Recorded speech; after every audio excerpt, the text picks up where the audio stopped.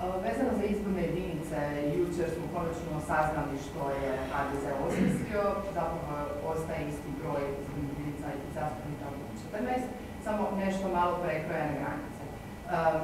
Jeste li vi umeđu vremenu dobili nekakve pozive za komunikaciju po tom pitanju, to je jedno, a drugo, što mislite uh, o tom prijedlogu koji je površno iznesen Ovako, nikakvog poziva, ni na kakav dijalog od strane vladajućih nije bilo.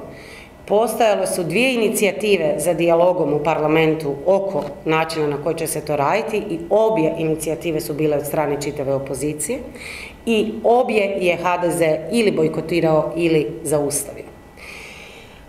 HDZ se oglušio i na apele četiri katedre ustavnog prava, dakle sve četiri koje imamo, na četiri sveučilišta o tome da se u ovakvoj proceduri, na ovakav način ne mogu mijenjati granice izbornih jedinica, kao i na apele da zakon koji će izaći van mora zadovoljiti oba kriterija i kriterije jednakosti glasa i kriterij praćenja zemljopisne kartografije kod izmjene izbornih jedinica. Ne samo da se oglušio, nego Andrej Plenković svjesno ide u neustavnost zakona o izbornim jedinicama, jer on neće biti usklađen sa tim kriterijima, samo zato jer je ucijenjen unutar stranke od strane Anušića i drugih, da ne može mijenjati broj mandata po izbornim jedinicama. Jer naime, najlogičniji, najnormalniji način ujednačavanja težine glasa bi bio taj da čak i ako ostanemo na deset izbornih jedinica, da one budu takve da prate zemljopisnu kartografiju, dakle granice naše županije, ali da biraju različit broj mandata s obzirom da imaju različit broj birača, odnosno različit broj stanovnika, ovisno koji kriterij uzmete. I to je jedino normalno i moguće i za ubuduće. Jer inače ćemo mi prije svakih izbora morati ići precrtavati izborne jedinice. Što apsolutno nedopustivo. Apsolutno. Ali to je samo zato jer on nema hrabrosti unutar svoje stranke to pitanje riješiti.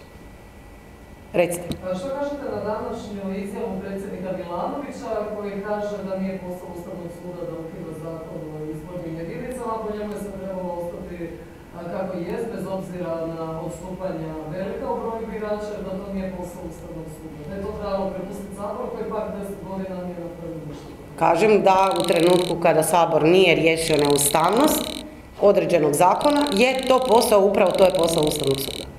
Dakle, po zakonu o Ustavnom sudu, između ostalog je ovlast Ustavnog suda da utvrđuje neustavnost, ali isto tako da tu neustavnost eliminira sam kada vidi da je zakonodavno tijelo zakazalo, a zakazalo Znači, mi znamo da nemamo jednaku težinu glasa, pazite što je temelj temelj demokratskog sustava. Mi to znamo od 2010. godine.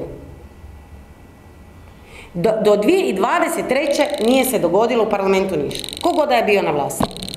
To je apsolutno nedopustivo. I da, trebao je Ustavni sud ukinuti taj zakon, ali je trebao ukinuti onda i odredbe zakona ili reći da se mijenju odredbe zakona o izborima zastupnika u Hrvatski sabor, jer je tamo određeno da imamo 10 izbornih jedinica sa 14 mandata svaka a jasno je da se to više ne može postići zbog velikih demografskih fluktuacija koje imamo.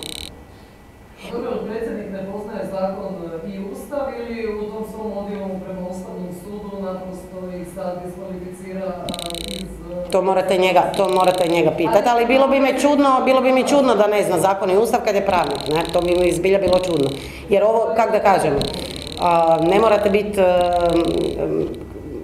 te stvari su poznate i znaju se i, i svako ko se malo bavi ustavnim pravom i zakonima, da, zna šta su ovlasti Ustavnog suda. Ovo je bila ovlast Ustavnog suda, posebno zato što je Ustavni sud prethodno dao 13 godina vremena tom istom saboru da to sam promijeni, a nije. Prema onome što znamo, Zagreb bio podijeljen u tri izborne jedinice, a Slavonska izborna jedinica biće do Koprivnice.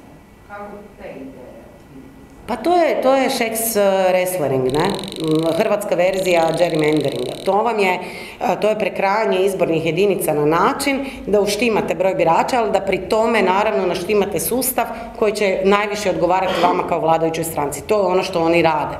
I e, samo da kažem, dakle nije ovo samo pitanje e, odluke Ustavnog suda. Venecijanska komisija kaže, kod prekrajanja izbornih jedinica mora postojati stručna radna skupina. Nije bilo stručne radne skupine. Kaže, mora postojati dogovor i konzultacije pozicije i opozicije. Nije postojao. Kaže, struč, u stručnim radnim skupinama, osim struke, moraju biti zastupljeni i svi zastupnici parlamentarnih stranaka, dakle, u, ne, u nekakvoj jednakoj mjeri nije toga bilo. Ma ne samo da toga nije bilo, nego ljudi, oni nemaju stručnu radnu skupinu. Oni imaju četvero ljudi iz HDZ-a koje je krojilo izborne jedinice. Oni nisu, dakle, imali stručnu radnu skupinu koja ministarstvu predstavlja zakon. Oni su imali njih četvero koje je predsjedništvu HDZ-a predstavilo zakon. I nakon predstavljanja HDZ-u zakon ide u e-savjetovanje. Pa jel vi razumijete di smo mi došli? Ne bilo koji zakon. Pa pazite, pa, pa i za ove druge zakone o kojima pričamo svaki dan, koji su puno manje težine. Imate stručnu radnu skupinu, imate uh, uh, među, minis, među ministarstvima komunikaciju, imate nekakvu komunikaciju sa strukom. Ovdje nema ništa. Zašto? Jer je Plenković znao da nitko iz struke to neće potpisati. Na taj način. Neće. I to mu se dogodilo. Zato nema stručnu radnu skupinu. A ovo radi samo zato jer je kukavica koja u svojoj stranci ne može riješiti probleme, pa ide u neustavnost jer se ne može dogovoriti sa Anušićem. To, to je sukus svega toga.